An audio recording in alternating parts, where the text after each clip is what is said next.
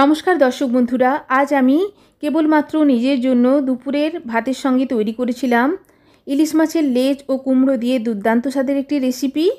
তারই রেসিপিটা আমি একটা ছোট্ট ভিডিওর মাধ্যমে আপনাদের সঙ্গে শেয়ার করছি। দেখুন, দেখতে কতটা সুন্দর হয়েছে, খেতেও দুর্দান্ত স্বাদের হয়েছে। কড়াইতে পরিমাণ মতো সর্ষের তেল দিয়ে ইলিশ মাছকে হালকা করে ভেজে প্লেটে তুলে নিয়েছি। ইলিশ মাছ ভাজার অবশিষ্ট তেলে দু আধখানা করে দিয়ে দিচ্ছি একটা শুকনো লঙ্কা, হাফ চামচ মতো কালো জিরে ফোড়ন। ফোড়ন থেকে সুন্দর গন্ধ বেরিয়ে এলে দিয়ে দেব লম্বা করে কেটে রাখা কুমড়ো।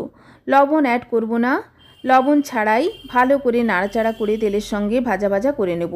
লবণ অ্যাড করবেন না। লবণ অ্যাড করলে কুমড়ো সেদ্ধ হতে শুরু করবে, ভালো করে ভাজা হবে না।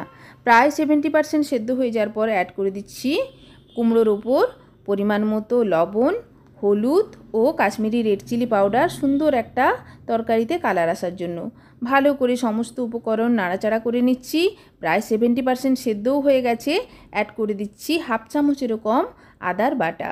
দুর্দান্ত স্বাদের হয়। ইলিশ মাছ যে কোনো রেসিপিতে অ্যাড করলে তার স্বাদ দ্বিগুণ হয়ে যায়। অবশ্যই বাড়িতে রেসিপিটা ট্রাই করবেন।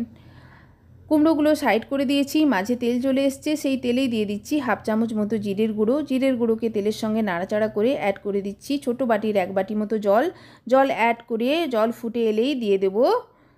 আগে থেকে ভেজে রাখা ইলিশ মাছ, লবণ অলরেডি কুমড়োতে পরিমাণ মতো অ্যাড করে দিয়েছি, মাছেও লবণ আছে, আর লবণ অ্যাড করার প্রয়োজন নেই।